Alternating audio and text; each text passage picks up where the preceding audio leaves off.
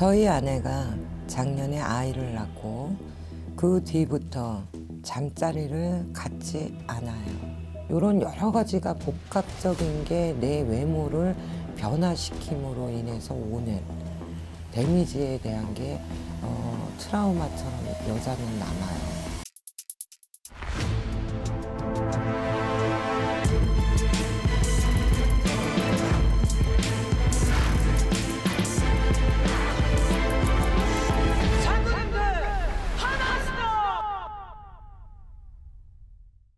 안녕하세요. 오늘의 사연은 좀 슬퍼요. 자, 김도환 님입니다.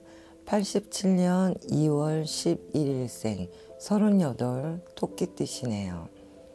안녕하세요, 선생님. 저희 아내가 작년에 아이를 낳고 그 뒤부터 잠자리를 갖지 않아요. 오, 이거 좀 이혼의 사유가 될 만하네요. 그 전까지는 아무런 문제가 없었는데 어느 날부터 거부를 하더라고요. 제가 그 이유를 말해달라 해도 속 시원하게 말하지도 않고 그냥 지금은 생각조차 나지 않는다고 합니다. 안타깝네요. 근데 그 이유를 저는 알아요. 그러다 아내가 저에게 다른 사람과 연애를 하고 관계를 가져도 상관없다며 집에는 돈만 잘 벌어다 달라고 합니다. 이제 와이프로서 어, 부부 생활에 대한 부분을 자기는 이제 선언을 한 거지. 나는 응대하기 싫으니까 외도를 해도 좋다. 가장의 노릇만 해달라라고까지 얘기가 나온 거야 이제 와이프가. 저는 저렇게 말하는 아내가 이해가 가지도 않고 제가 사랑하는 사람과 그렇게 관계를 못 한다는 것도 너무 슬프고 그리고 갑자기 이런 태도를 보이니 혹시 다른 남자가 생겼나 하는 의심도 들기 시작했고 어떻게 해야 될까요? 외도는 아니야. 김도환 씨, 내가 얘기해 줄게. 정말 사랑하는 아내가 어느 순간 이렇게 변해버리니 너무 심란하고 속상합니다. 당연히 속상하죠. 이건 좀 어려운 얘기야. 지혜로운 조언 부탁드립니다, 선생님. 자, 김도환님, 우리 꽃님들, 여자들은 외모에 대한 막연한 어, 자기 만족도가 있어야 되거든. 근데 출산을 함으로 인해서 일단 심리적으로 출산 우울증이라는 게 와. 산후 우울증이라고 하죠. 그것이 오는데 거기에 내 몸매에 대한 심각한 변화가 오죠. 이런 여러 가지가 복합적인 게 내 외모를 변화시킴으로 인해서 오는 데미지에 대한 게 어, 트라우마처럼 여자는 남아요. 우리 남자들 그 이해 안 가지.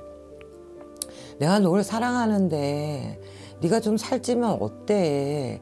네가 조금 피부가 어, 늙으면 어때? 내 여잔데 그거는 자기네들 생각이야.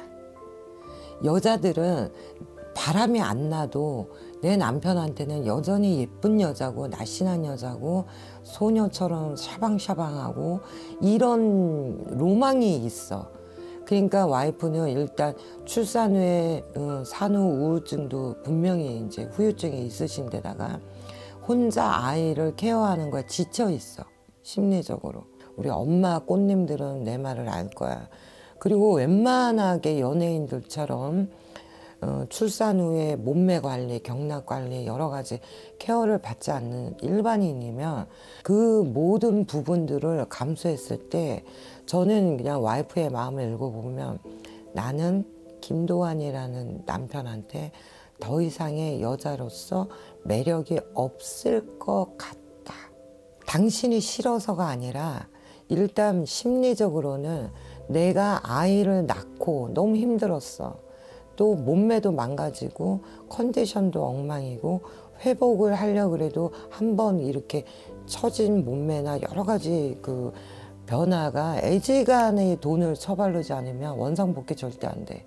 그 모든 부분들이 이제 손을 놔버린 거야. 그러니까 더 이상의 성욕도 없고. 그러니까 어 그렇다고 당신이 싫어서 딴 남자가 생겨서 내가 외도를 하는 건 아니니까 그냥 당신도 신체적인 그 바이탈 사이클을 위해서 네가 어 마스터베이션을 하든 외도를 하든 어, 눈 감아 줄 테니까 아빠로서 남편으로서 그 의무는 지켜달라. 이거 되게 슬픈 얘기거든. 그러니까 와이프를 의심하기보다는 진지한 대화를 하는 것을 저는 추천을 하고 내 DNA를 가진 나의 분신을 출산한 내 와이프한테 용기와 사랑과 애정을 적극적으로 표현을 해줘. 그리고 어 뭐 당신 어, 솔직히 얘기해봐. 당신 몸매가 이래서 그래 뭐가 이래. 나는 너를 사랑해. 그 안심을 시켜주길 바라고 이거는 이제 선배로서 삶의 인생에 먼저 살아온 사람으로서의 조언이고 무당으로서의 조언을 하자면 당신은 올해 대운이에요 서른여덟의 토끼띠 자, 대운이기 때문에 식구가 늘어서 작년, 올해 식구가 느는 게 운이 들어와 있으니까 세포 분열하겠죠. 그러면서 나는 어, 이 운으로 인해서 금전이나 기타 등등 바깥에서 인기가 더 많아지고 어떠한 업무적인 부분에서도 인정을 받고 굉장히 좋아요. 금전의 운도 좋고. 하지만 작은 거, 내가 자식이 생김으로 인해서 이 자식과 와이프와 나 사이에 충이라는 게 들어올 거야. 충이 들어옴으로 인해서 어, 부부지간에 무리벽이라는 것이 하나 생길 수 있는 운기는 있어요. 그리고 부부지간의 대화로서 풀어라. 당신은 대운이기 때문에 극복할 수 있는 확률이 더 좋고 더 어, 대박 날 수 있다 이 말이에요. 자 사랑하는 꽃님들 부부는 뭐야? 의리야. 진짜로. 그 맨날 10년, 20년, 30년 사는 게 쉬운 게 아니야. 하지만 유혹은 누구나 받을 수 있어. 이겨내는 건 의리로 버텨내고 사랑으로 버텨. 그러니까 늙어서 등 긁어 줄 사람은 내 본 마누라, 내 본 남편밖에 없으니 서로 외모 어? 이런 거 신경 쓰지 말고 애틋한 마음으로 뜨거운 밤 보내보세요. 부럽다. 응? 뜨겁게 알았지? 자, 꽃님들 사랑합니다.